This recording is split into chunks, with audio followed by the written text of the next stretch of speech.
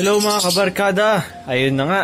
So, yung may issue tayo kanina, yung binili kong bagong hen na ipapares natin sa Bio Ewing cock natin, ay isa pala siyang hybrid. Hybrid na perso na ang parents nun ay Fisher na pinares sa ano sa Perso, Fisher X Perso ang naging parents niya. So, binalik na sa akin yung 700, tapos yung ibon nandito pa, hindi pa niya kinukuha. Bali, pinipilit ko siya na kunin yung ibon dahil hindi ko yan magagamit. Dahil hybrid nga, hindi natin sila pwedeng ipares sa mga ano natin, sa mga ibon natin dahil baka masira yung breeding natin. So, ayun na nga, uh, ayaw niyang kunin dahil uh, parang gusto niyang patunayan na hindi daw hybrid. Bali, sinabi niya sa akin kung ano yung parent nun, pero para sa akin, hybrid yon dahil ibang-iba yung yung talagang itsura ng person na doon. So, wala dito yung ibon. So, wala dito yung binili kong hybrid na ano. So, wala na rin siyang kasama. Bali, nasa karton na, pinapapick up ko sa kanya dahil hindi ko nga talaga yun magagamit. So, ayun ang ano natin, update natin doon sa mali nating nabili. Kasi ang pagkakalagay kasi sa post ay ano nga, Fisher daw. Pero yung pagdating dito, eh, pagdating dito, mukhang ano na, mukhang ano talaga, hybrid. Ibang iba talaga. So, mapapansin nyo naman talaga na hybrid siya dahil sa kanyang itsura na promise, kung alam nyo lang talaga itsura ng, kung alam nyo pinagkaiba ng perso sa sa Fisher, malalaman nyo naman talaga yon Tapos kapag hybrid yung ibon, malalaman nyo naman talaga. Yung hybrid na tinutukoy ko, yung Fisher X Perso ha. So, malalaman nyo naman yung itsura nun na hybrid sila. Tapos dito nga pala, yung kapares nito natin, yung back-to-back natin na green opa dito, So, yung kak nito, binaba ko dito. Sinama ko siya sa blue opa hen. Tapos, unang pagkalagay ko pa lang talaga sa kanila, eh, ano, tabing-tabi sila doon sa perch. Tapos ito, nakikipag, ano na, nagtutukaan sila ng tuka nila. Nagdidikitan sila ng tuka, parang ganyan-ganyan. Tapos, ayan, eh, malapit lang ako, kaya hindi sila naglalambingan. Promise, naglambingan agad sila yung pagkalagay ko pa lang sa kanya. So, ang gawin na lang muna siguro ang gagawin ko muna siguro ngayon ay dahil nga ito ay naglulugon pa naglulugan pa rin siya kita ko sa buntot na basag-basag yung buntot niya. Tapos uh, talagang nakikita ko yung puti-puti ng kanyang uh, katawan na parang nga bang nalalaglag yung mga ano niya balahibo dahil nga naglulugon siya, molting stage siya. So yung cup dito, yung kapares niya, binaba ko dito, eto, at yung pagkababa ko, nag ano sila, nagbabanding na. So as uh, siguro ano natin, ipagsama muna natin sila ng isang buwan. Pagsama natin sila ng isang buwan tapos tingnan natin kung ano magiging resulta ng pagsasama nila. Ayan. So, tingnan natin kung makakapag-breed sila within naman sa isang buong buwan. Tingnan natin kung mag magme-mate sila or makakapag-breed. Okay? So, kung ngayon ay 20, 20, tapos wala pa rin nangyayari ng December 20 sa kanila, pwede na natin silang ipagsama ulit. Ayon. So, ayun ang aking balak ngayon. Tapos, balak ko na naman ulit na bumili ng dalawa na naman na na Fisher, Fisher talaga kailangan ko, hindi po hybrid para sa kanya. Tapos dito, so pinagbukod ko silang dalawa dahil nagtutukaan sila ng paa. Naduguan yung paa nito, yung Parblo natin. Nagdugo yung kanyang daliri dyan, kaya binukod natin si Vio Ewing, nakak. Ayan, binukod ko siya dahil dito pa lang sa flight cage, nag-aaway na sila eh. Kaya saka ko lang naisip na ipaghiwalay. Ayan, So, ayun ang ating um, konting update sa mga ibonan natin. Tapos yung mali nating, mali kong nabili na ibon. Bali, magki-question and answer muna tayo ngayong video. Unang tanong kay... Tanong ni Ruel Magkaling. So, ang tanong niya dito, paano daw ang tamang pag-alis ng infertile na egg sa nest box o pag-awat sa hen at tips para sa magandang kondisyon ng ibon sa susunod na clutch nila. So, yung unang tanong niya kung paano daw tanggalin yung infertile na eggs sa nest box para syempre mabukod na at makapag uh, second clutch na or third clutch. So, una, syempre kunin mo muna yung itlog tapos ikandling mo para makita natin kung infertile ba talaga yung mga itlog na yon. Pero mas okay kasi kung meron kayong listahan kung kailan nilabas yung itlog para syempre maiwasan natin yung maling uh, maling observation ng itlog kasi meron 'di ba kunwari meron tayong apat na itlog. So dalawa yung unang yung So yung naunang dalawa fertile na. Pero yung pangatlo at pang-apat, syempre kapag i-handling natin yun, ay hindi siya gaano ganon ka-fertile pa. Kasi kakalabas lang nun ng mga ilang araw lang. So, mas okay kasi kung meron tayong listahan kung ilang days na sila. Ganun. So, baka kasi yung infertile na inaakala natin ay fertile pala dapat. So, mas okay kapag ganun. Tapos, yung tips na mas maganda ang kondisyon ng ibon para sa susunod na clutch, mas okay kung um, bago natin sila i-breed ulit, mas okay kapag nakapag um, mas okay kung na deworm natin sila. Kasi ang deworm kasi ay syempre para mawala yung mga bulate doon sa mga breeder natin para maganda yung pagkakabuo ng itlog, maganda yung pagkaka yung ano nila, yung pagkain nila, ganun, para walang kahate yung mga ibon natin doon sa tiyan nila, sa mga bulate. Kaya, mas okay kung deworm, pero yung, yung deworm na yon ay para sa isang taon na yon wag na natin sila i-deworm kada clutch. Kasi masama ata ang kada deworm natin kada clutch. Masama ata yon kaya mas okay kung every year ang pag ano natin ang pagdi-deworm. So si Maha kasi dineworm ko siya nung third clutch niya na. So Ayon, nakabuhay siya ng apat na itlog. Yung apat na itlog na yon ay lahat fertile at yung dalawa na pisana. Tapos yung pangatlo at pang-apat papisana ngayong ano, ngayong uh, weekend, Sabado or Linggo, pisana yung dalawa na yon.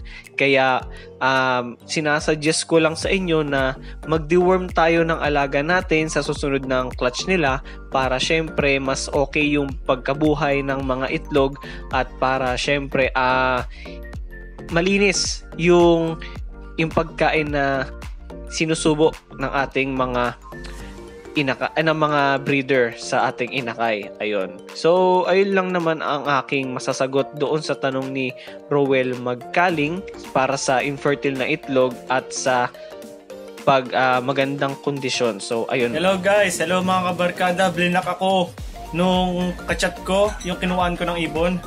Ito yung ibon. Ayan. Blinak ako. Binalik sa akin yung 700.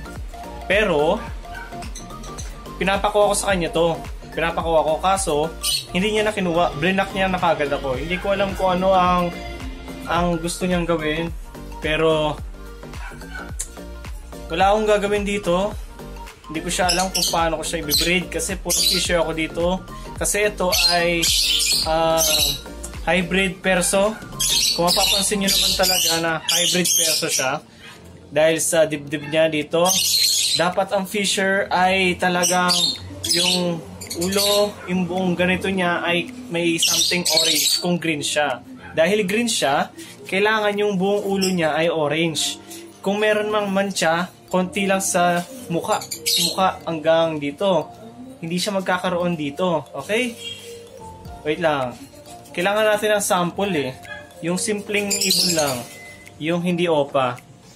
Eto, tulad nito. Wait lang ah. So ito, makikita nyo dito. Fisher to. Simpleng fisher lang yan. Normal fisher, low mute. O, kung mapapansin nyo naman na yung orange ay muka, dibdib, pati batok. O, di ba? Tapos may konting, uh, may, o, di ba? May ano siya sa ulo niya. Kaso ito, kung makikita nyo naman, asan na? Oh, tingnan nyo oh, itim na itim. Pinipilit niya na high, ano daw to, Fisher, na ang parents daw ay blue, blue X green series. E di, eh, kung mapapansin nyo yung kanyang dibdib. Yung dibdib. Ayan. Grabe yung bahid. Well, tas wala pang orange dito sa batok niya. Yung orange ay nasa dibdib lang. Ibig sabihin talaga niyan ay hybrid yan. Oh, di ba? Kita nyo naman. Tapos ang itim-itim ng ulo. Pinipilit niya ang Fisher daw yan. Eh di, ayun, nag-reply siya, binalik niya sa akin yung 700. Kaso, hindi niya kinuha na tong ibon. Blinak niya na ako. Ewan ko kung ano naging, ayan o, ayan o, tignan nyo ha. Ayan o, oh, oh, oh, di ba? Yung orange nasa dibdib lang.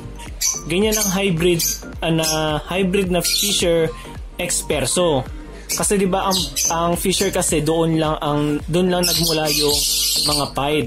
Kaya nagkakaroon kasi ng Perso pied dahil um para siya pina-project siya, pina-project siya na maging um tawag doon, pina-project siya para maging 100% na malinis yung pagkakapaid niya. Kaya yung ibang pied, hindi niyo mapapansin na hybrid yung yung perso na yon dahil magand uh, parang napaganda na ng ano no, ng dugo, ng jeans.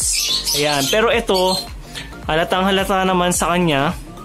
Nagkaroon na kasi ako ng mga perso na pied tapos na na hybrid din. Kung naalala niyo yung mga dati kong videos, 'di ba, may mga perso ako dati. Bili-bili lang ako ng mga perso. Tapos pinalit ko ngayon sa mga perso ah, sa mga ano, sa mga fisher. So, ayan. Ganun kasi ang pagkakatingin kung hybrid. Tingnan niyo yung batok, dilaw. Tingnan niyo yung dibdib, orange. Kung ang fish, kung fisher kasi yan, yung batok niyan ay orange din. Oh, tingnan niyo to. Oh, 'di ba? Orange ang batok. Oh ha? Pabilog, 'di ba? Oh, 'di ba? So, tingin pa tayo ito. Ito. Ito ay lumabas. Ayan. Yan. Kita nyo. Madre. Fisher. No mute. Oh.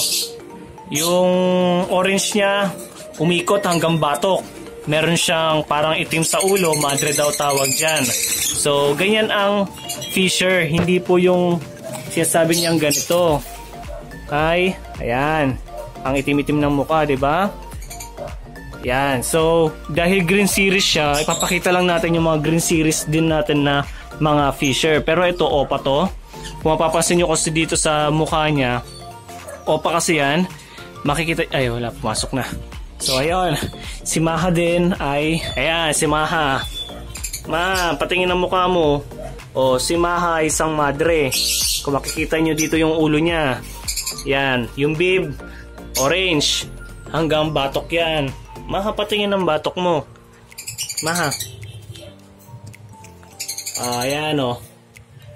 Ayan ang Fisher, hindi po ya, hindi po yung yung tinutukoy kanina. O ano, tutukain mo yung cellphone. Wag, wag, wag, wag. ayan. Ayan ang Fisher, hindi po yung ganon. Dahil nadadaya po tayo. Tulad din po nito, ayaw pumasok. Ayan, green series. Ay, pulang-pula pala dito. Try nga natin mag-flash. O, ayan. Kita nyo hanggang batok yan. Patingin. Ayan.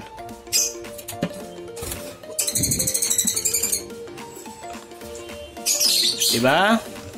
O.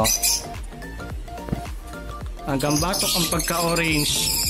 Diba po? So, wag po tayo manloloko kung uh, gusto lang natin magkaroon ng pera. Kung gusto natin magkaroon ng pera, mabibenta naman yan ng uh, kung ano yung mismong ID nila. Mag, basta yung ipapost nyo, yung mismong ID nila. Wag po natin man, wag po tayo manloko lalo na kung yung lolokohin natin eh marunong pala.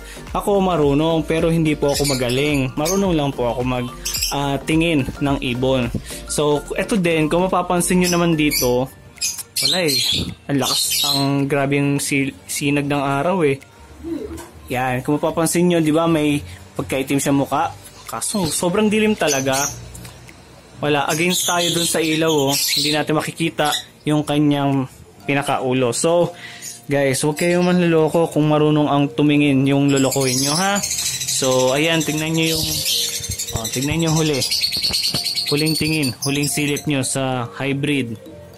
Ayan, ganyan po ang hybrid. Hybrid perso po yan. Ang parents po niyan ay Fisher X perso.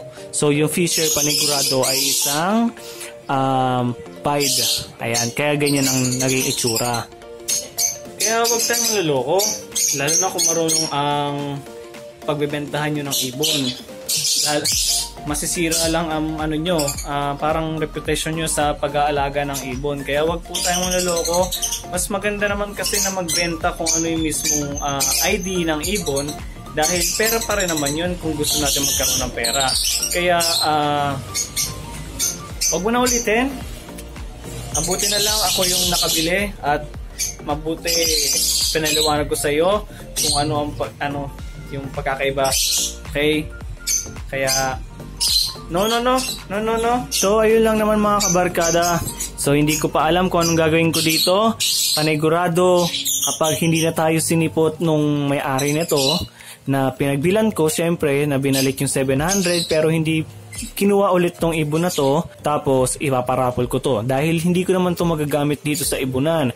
Kung gagamitin ko to, bibili pa ako ng mga personata. Ayun, kaya hindi ko po siya magagamit sa ngayon dahil nagfo-focus muna ako sa mga fisher. Kung gusto nyo tong iparaffle natin, i-comment nyo lang kung gusto nyo i-raffle or hintayin na or kung gusto nyo hintayin ko ang reply ng may-ari nito, eh di hihintayin na lang natin. So, ayun lang naman mga kabarkada ngayong video. Salamat sa mga sumusuporta. Huwag po tayong manluloko kung gusto natin magkaroon ng pera. Okay? So, salamat ulit sa mga sumusuporta at nanood hanggang dulo. Mag-ingat pong lahat and we'll see you on the next video.